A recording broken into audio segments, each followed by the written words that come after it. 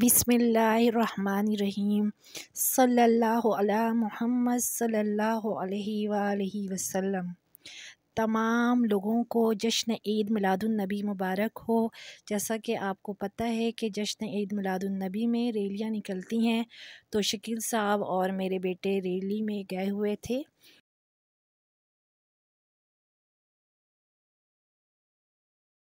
तो उन्होंने कुछ वीडियो बनाई थी जो कि मैं आपके साथ शेयर कर रही हूँ कि हमारे आका की जो मिलाद है और हमारी आका की पैदाइश के दिन जो हम सब जश्न ईद मिलादुलनबी मनाते हैं तो वो सारी चीज़ें और वो सारी दरुद सलाम की महफ़िलें आपके साथ मैं शेयर कर रही हूँ। तो आज मैं और मेरा बड़ा बेटा जो है हसन, वो हम लोग गए थे।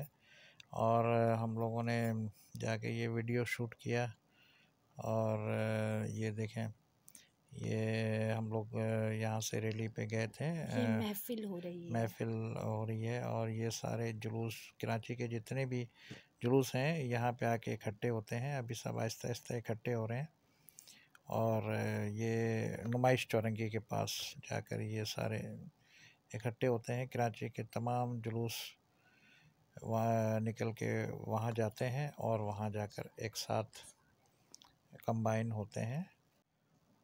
तो इस तरह की महफ़िल अटेंड करने के बाद दिल को बहुत सुकून मिलता है और बहुत अच्छा लगता है और ईमान भी ताज़ा होता है। और हमारे नबी पाक वसल्लम की तो पैदाइश पे हम मतलब पूरी दुनिया में ये खुशी मनाई जाती है, बल्कि पूरी कायनात के लिए अल्लाह ताला ने रहमतुल्लिल आलमीन बना के हमारे नबी पाक वसल्लम को भेजा है।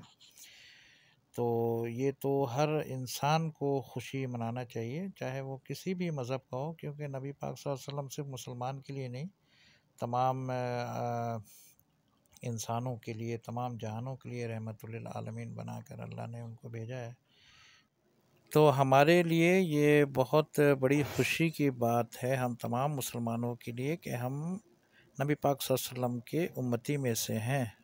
और ये देखें, ये हम लोग जा रहे थे रैली में तो ये सारे मोटरसाइकिल वाले हैं, कार वाले हैं, सब एक साथ मिल के हम सब रैली में जाते हैं और वहाँ इकट्ठे होते हैं एक जगह पे।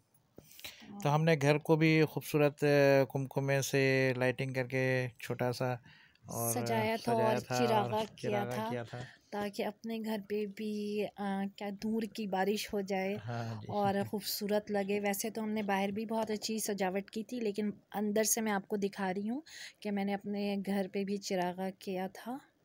और बस अल्लाह ताला हमारी इस खुशियों को कबूल फ़रमाए हमारी इबादतों को कबूल फ़रमाए और जुलूस के साथ साथ दरुद सलाम और सुर यासीन और नमाज़ का ज़रूर अहतमाम किया करें।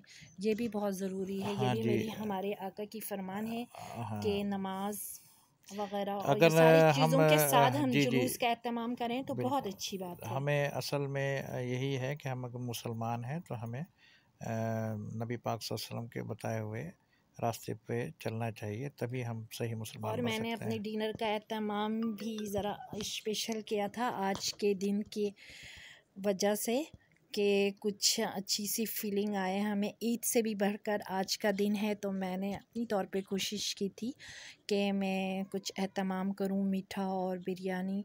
और इन ये लबे शरी की जो रेसिपी है मैं आपके साथ इन शेयर करूँगी।